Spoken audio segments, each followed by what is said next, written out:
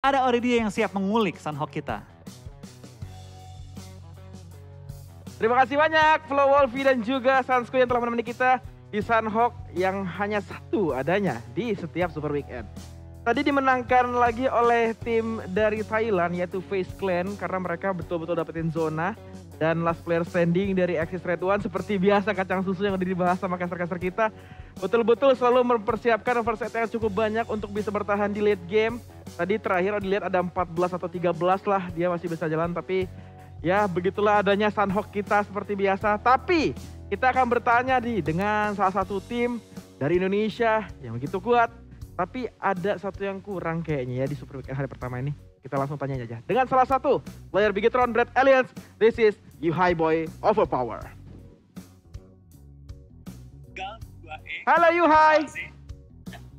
Oh, halo. Yuhai, apa kabar? Halo Bang, Assalamualaikum. Waalaikumsalam. Baik. Baik. Yuhai, ini sekarang akhirnya Yuhai bermain di Super Weekend.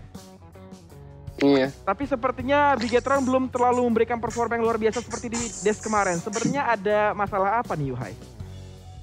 Masalah apa ya? Gak, gak, gak, gak punya masalah sih. Cuman menurutku tuh cuma lagi lagi bau deh. Belum dapat lagi momentumnya. Oke, lagi bau berarti ya belum dapat momentum. Berarti mungkin di hari kedua dan hari ketiga besok Bigetron bisa membuktikan lebih banyak poin sepertinya nih. Insya Allah. Insya Allah. Eh, Bisa. tap- tapi, Sabi-sabi. oke, tak tak, wih sabi sabi keren banget nih gaul sekarang ya. Udah di Indonesia gaul banget sekarang nih Yuhai. Yuhai, tadi kalian benar-benar nggak melakukan rotasi sampai ke kelimaan kalau nggak salah, oh di betul-betul di Painan. Kenapa tumben tidak melakukan early, early rotation, lebih bertahan di Painan? Apakah emang karena zonanya masih di situ terus, atau kalian emang pengen bermain pasif aja? Eh, gimana ya? Karena mungkin karena zona di situ, lalu kami nggak mau ambil risk karena udah tiga game nih.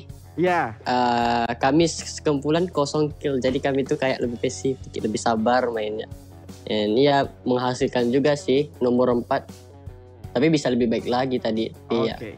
No problem lah ya, masih Hmm. sedikit berata- beradaptasi juga di Super Weekend pastinya masih ada dua hari lagi slow masih ada satu match juga abis ini tapi tadi terakhir Luxi kita lihat open banget bahkan ke pick off oleh seorang Demrut apakah betul-betul kalian tidak memiliki smoke sama sekali lagi sehingga betul-betul open tuh untuk membuka badannya Eh, bukan nggak punya smoke karena bukan nggak punya smoke sih. Tadi tuh udah enak. Tapi kan sekarang tuh eh, meta Sunhawk kan mereka tuh lagi hilingan luar zona, Hmm. lalu dibokong terus. oke berarti kalian bener-bener ke backstep terus ya nggak tahu ternyata masih banyak lawan nih di blue zone gitu Iya, kita kira ternyata yang yang di dalam zona itu rame.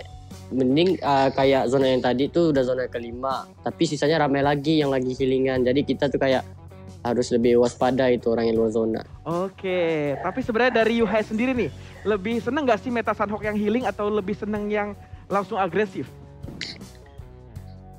Gimana ya? Kalau kita men uh, if we look at statistik ya meta healing itu juga bagus lumayan. Tapi buat mereka yang kayak penakut gitu. Waduh,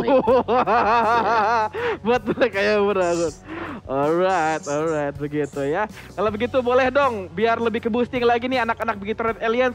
Kayak nyampein Amin. apa buat Bigit Troopers dan juga pecinta PUBG Mobile Indonesia. para para Big Troopers and pecinta Indonesia ya kami uh, sorry karena dua tiga game ini belum bisa perform yang maksimal tapi kita juga butuh doa doa dan dukungan kalian buat lebih motivasi gitu biar lebih ya biar lebih motivasi Oke, sabi-sabi ya, sabi ya. Ali Kalau begitu thank you the Gondrong Man, you high boys. Semoga bisa terus memberikan hasil yang positif untuk Red you, Aliens ya. Bye bye. iya bye bye